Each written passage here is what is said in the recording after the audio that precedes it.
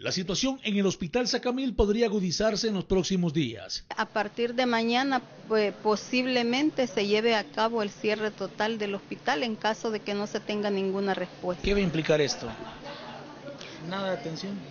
Eh, sí, únicamente emergencia, por supuesto, y partos que sí tendrían que seguir dándose la atención hasta donde alcancen los recursos, los pocos recursos con los que cuenta este hospital. El desabastecimiento de insumos y medicinas, sumado al mal estado de equipos en diferentes áreas del hospital, están afectando a pacientes y profesionales de salud en ese lugar. Estamos eh, dialogando con algunos compañeros de los diferentes hospitales quienes están dispuestos a apoyar las acciones debido a que esta problemática que se vive en el Hospital Sacamil es generalizada en los hospitales nacionales, no es únicamente en este hospital. Ante la situación actual en el Hospital Nacional Sacamil, los médicos también han advertido consumarse a estas medidas de presión ante la escasez de medicamentos y equipo para atender a los pacientes. Hoy ellos sostuvieron una reunión general.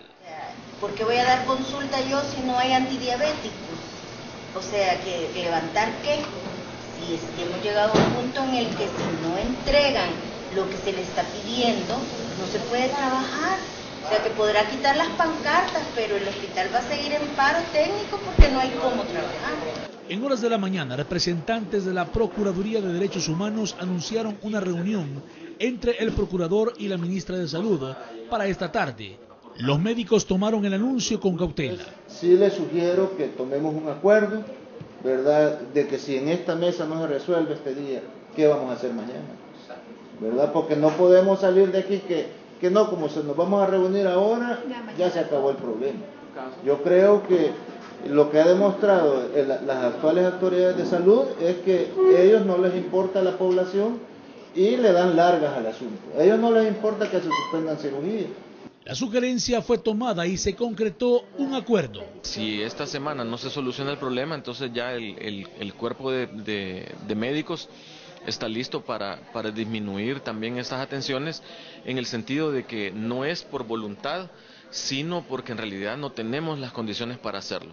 No hay medicamentos antihipertensivos, antidiabéticos y a eso también se le suma ya la suspensión de más de 100 cirugías programadas. De que el único autoclave que funcionaba en el hospital se arruinó el jueves, lo remendaron el viernes y se volvió a arruinar el sábado.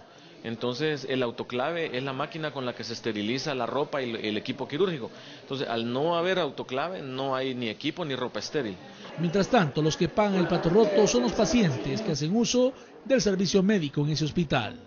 Con imágenes de Ángel Flores, Rodolfo Portillo Noticias 4 Visión.